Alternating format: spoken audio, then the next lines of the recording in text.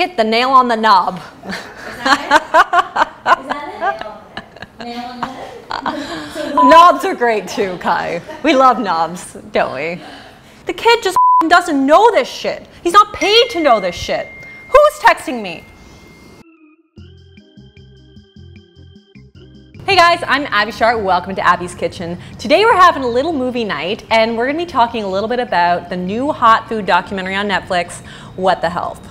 So if you haven't yet seen it, count your lucky stars, but I'm going to give you a little overview. Basically, the film follows the filmmaker Kip Anderson as he goes undercover to try to find out all the dangers of a meat-based diet. Now, listen guys, I love my vegan friends. I am not against this film because it's promoting a plant based diet. I'm against this film because of the misinformation and the manipulations and cheap shots that they're willing to take to make their point. So let's do a little movie night now.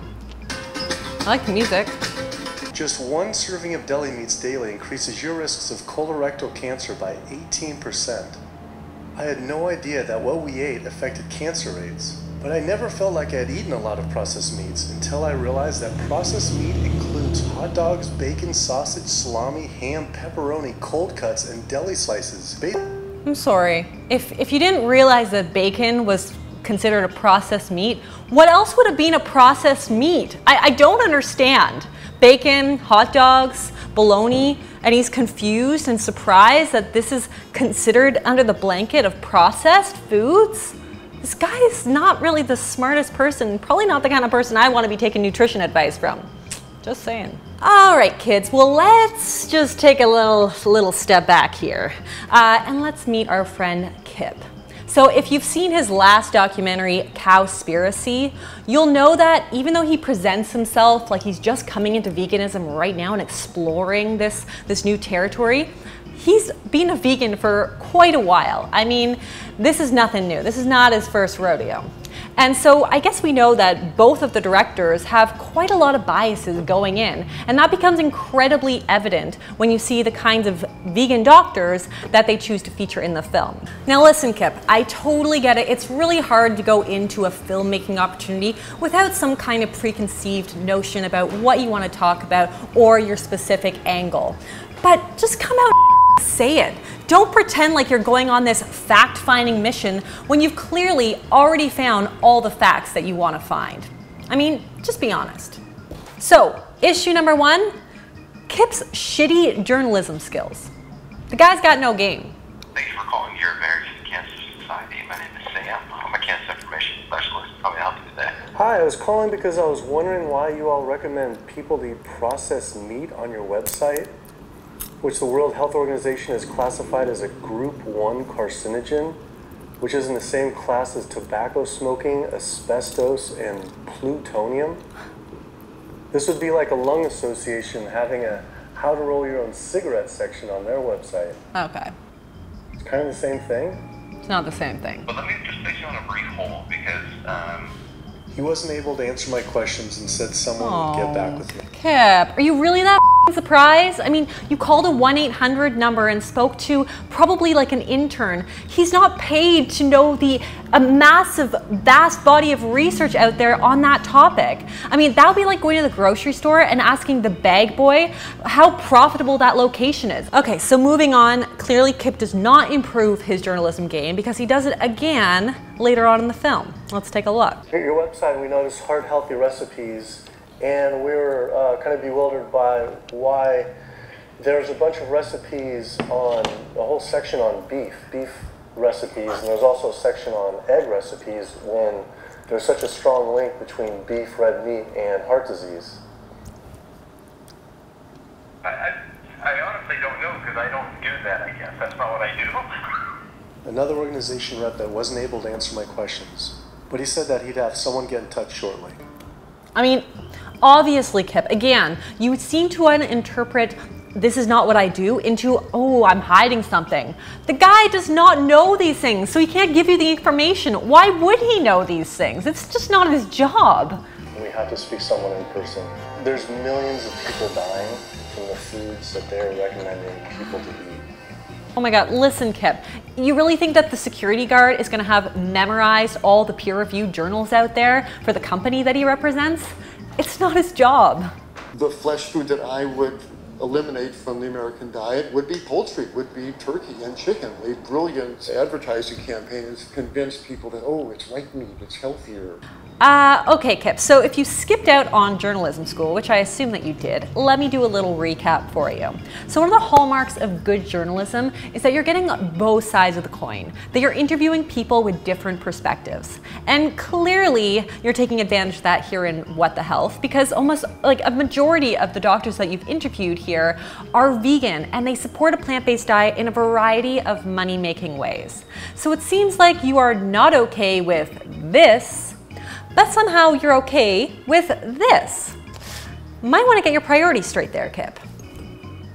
Issue number two is dramatics. So this film is a huge fan of dark, scary rooms and vivid imagery and big, crazy words that they use to promote paranoia about food.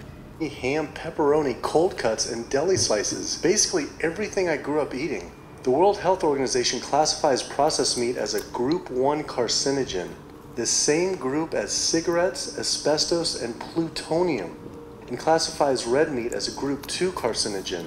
Was this like I had essentially been smoking my entire childhood? Oh. If processed meats are labeled the same as cigarettes, how is it even legal for kids to be eating this way? That is some scary imagery, Kip. Honestly, if I were a parent, I would be really freaked out about it too. But I think you've really misunderstood the research here. So when the WHO released their report linking processed meats to cancer and categorizing processed meats in the same category as asbestos and tobacco, they were doing so with the understanding that the category represented the strength of the research and not necessarily the risk. These classifications didn't really give us any understanding of how much processed meats you would need to consume in order to increase your risk of cancer, or even how much it would increase your risk. The classifications or being put into these categories meant that the strength of the research linking processed meats to cancer was similar to the strength of the research linking tobacco to cancer. So this was not an attempt to make these things the same thing because they're not the same thing.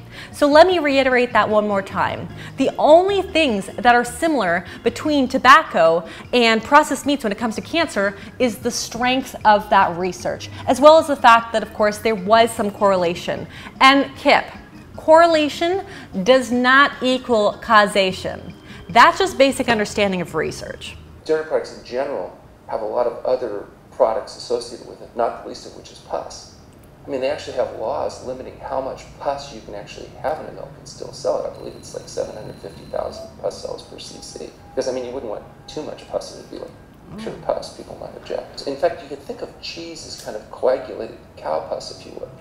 But I was always told that we need milk for.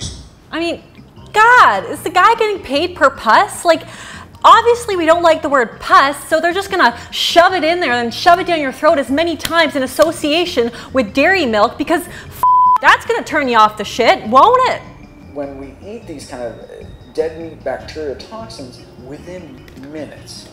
What does that even mean? Honestly, dead meat bacterial toxins? It's just like a bunch of really scary words strung together in an effort to scare you. And it's scary, man. I'm scared. Is chicken better? It's a question of whether you want to be shot or hung. The flesh food that I That's so scary. I mean, who, who the says that? Does he actually go at home and, and think about the, the parallels between different ways of dying and consuming different kinds of animal proteins? That shit up. I never really thought about eggs much. I just thought of them as a standard part of a healthy diet. But then I found a study suggesting that eating just one egg a day can be as bad as smoking five cigarettes per day for life expectancy. Oh my God, where does these where do these people get their medical degrees? I think he needs to go back to school and take that one nutrition course all over again because there is a lot going on in an egg yolk. Egg yolks have protein, healthy fats, calcium, iron, phosphorus, selenium, folate, vitamin B12, vitamin D, vitamin A, and carotenoids. I mean, there's a lot going on in that little yolk. Still think it's crap? No, you're wrong. Issue number three the use of personal testimonials as research. So throughout the film, we run into a variety of very selected individuals who are suffering from a wide range of chronic diseases like heart disease, type 2 diabetes, and osteoporosis, which are really big, serious problems. The problem is this film insinuates that the reason these people have chronic disease is because they've been consuming meat all their lives. When the reality is, we know that nutrition is just one factor contributing to chronic disease risk. My name is Michael Abdallah. This is I'm from Atlanta, Georgia. And unfortunately, I was diagnosed about 10 years ago with diabetes. And eight years ago, I had two stents put in. I don't know where to go. I don't know what to do. You're just like out of options and, and you don't know what to do. You're taking medicine, you listen to this doctor, and the cardiologist says take this, and the, and the uh, endocrinologist says take that. Then your general practitioner doctor says you don't know what's going on here. And it's a, it's a real it's a real challenging thing, and it's something that you don't want to get. You just don't want to get it. Government and Yeah, well, that's Michael.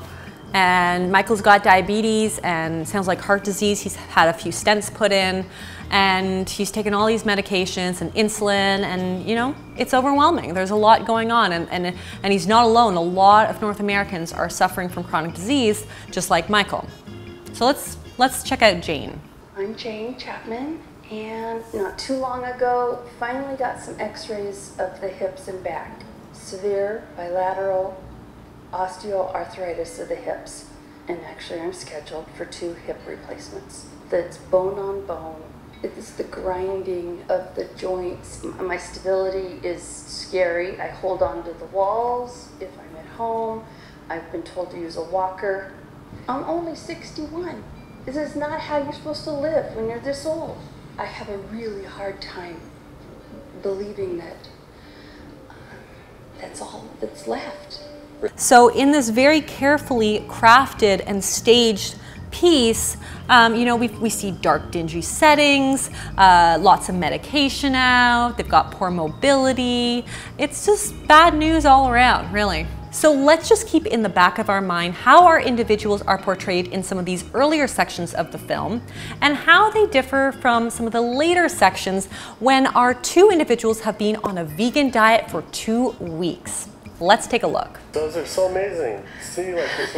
I know. From going from the walker, needing wheelchair assistance at- at the airport, to strolling down the street, enjoying the fresh air, the sunshine. Two weeks. It's all it took. Two weeks to get off all the meds and uh, start to, to feel the inflammation just kind of drain out of the body, where the movement was much easier. Uh, just a lot of healing occurred very, very rapidly just by doing the right things for your body. All right, well done, Jane. Let's take a look at our friend Michael. Valentine's Day, I decided to go vegan and give up all meat, which was never in my thoughts in a while, million years. But I've heard so much success from people that are, vegan. And so we, I gave up all animal product whatsoever. I've lost uh, 29 pounds. I've been able to cut my meds in half. I've been able to cut my insulin in half. And now I'm going for the moon. I'm going to cut it all out. In the last six weeks, we've just had three grandchildren. And my ugly face is going to be around to see them graduate from high school and college. I'm going to be here. So, guys, like, let's be honest, I'm really happy for these people. They made some dietary changes, they're feeling better. This is exactly why dietitians do what they do. It's exciting to watch these kinds of transformations. However, this is classic testimonial psychology here. We went from a dark, dingy room covered in medications and obviously not feeling well to beautiful, bright scenery, lots of color, hair, makeup, people talking about grandchildren. I mean, obviously, you're gonna be thinking that that vegan diet is directly correlated with some of these outcomes. But that's not necessarily the case. So we don't know with a sample size of two that removing the meat in their diet had the intended effect of reducing their chronic disease. Was it perhaps something else, like a lifestyle change, like them walking or, or moving more? Was it the fact that their diet beforehand was them eating five McDonald's cheeseburgers and getting rid of those and incorporating more fruits and vegetables of course, had that intended effect. We have no idea. And this brings me to the fact that doing nutrition research is really, really difficult. I mean, this is why we need really huge sample sizes and we need to control for confounding factors in order to understand how one thing influences another thing. Doing a testimonial with two people who've gone on a vegan diet does not constitute high quality research. Okay guys, let's sum this film up. So I think that What the Health actually does a pretty good job communicating some of the environmental and even some of the health concerns associated with eating an excess of meat.